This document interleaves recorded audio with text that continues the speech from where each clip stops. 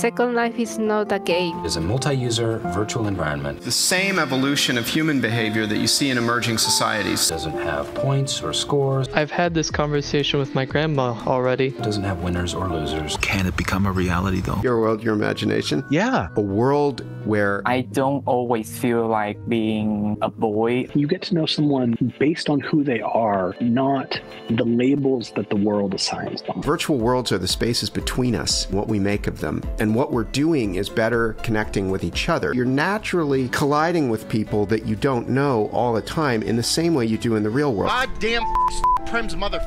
You want to come over to the dark side? But what's on the dark side? Well, I'm not offended at all when someone says, well, they have a first life. I also have a first life and I have a second. I got the best of both.